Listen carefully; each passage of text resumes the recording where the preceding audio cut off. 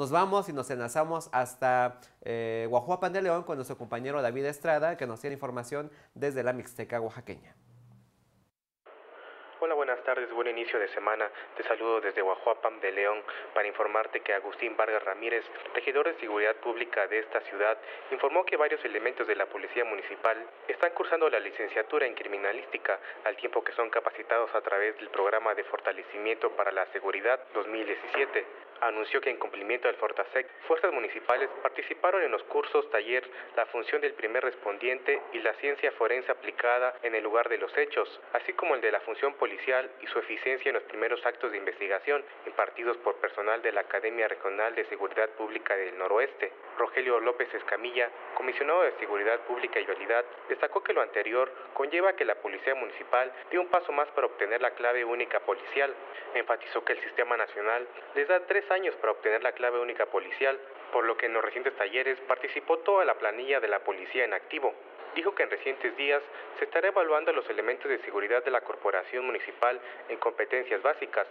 Agregó que ya fueron evaluados alrededor de 60 elementos y actualmente 40 policías están en el mismo proceso que concluirá en los primeros meses del 2018.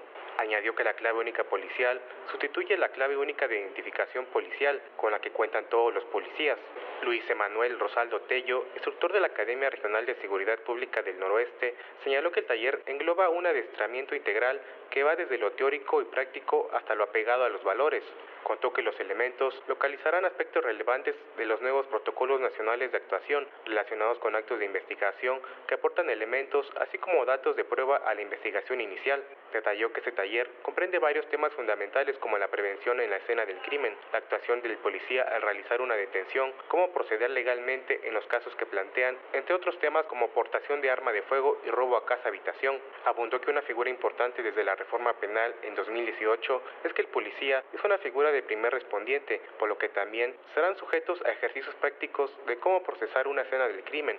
Rosado Tello puntualizó que los efectivos aprenderán a utilizar herramientas del kit de primer respondiente, como los guantes, tubos de ensayo, la cinta delimitadora, la brújula e inclusive algunos trajes de bioseguridad y diferentes métodos de búsqueda que pueden ser implementados al procesar un lugar de los hechos como un homicidio, robo o inclusive una violación.